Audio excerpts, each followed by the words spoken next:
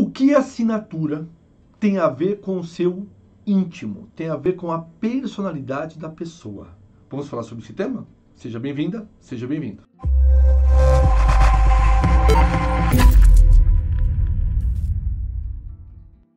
Prazer, quem fala aqui é professor Gleibe, sou doutor em Direito, sou perito judicial, sou autor de livros e falo em nome da Jus Expert. jusexpert.com, sem dúvida nenhuma, o maior e o melhor curso de perícia grafotécnica do Brasil. Isso mesmo, o maior e o melhor. Vejam, comparem, coloquem comparativo dos principais cursos de perícia do Brasil eu tenho certeza de que você encontrará diversos é, links e reportagens que tratam sobre esse assunto. E aquele e o curso também que mais nomeia, pessoal.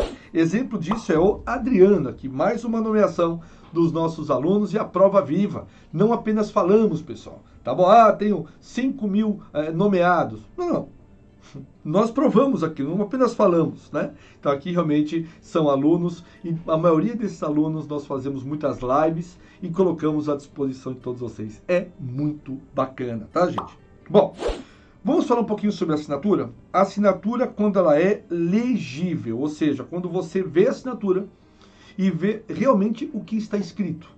Tá? Pode ser letra cursiva, pode ser uma letra impressa, enfim, Pode ser misturada as duas, né, a mista que nós falamos.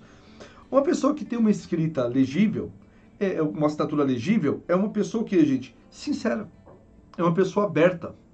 Não tem nada a esconder. Via de regra é isso. Então, quando você vê a assinatura de alguém que dá para entender o nome da pessoa, o nome, sobrenome, enfim, o prenome, o sobrenome, melhor dizendo, gente, é uma pessoa extremamente aberta.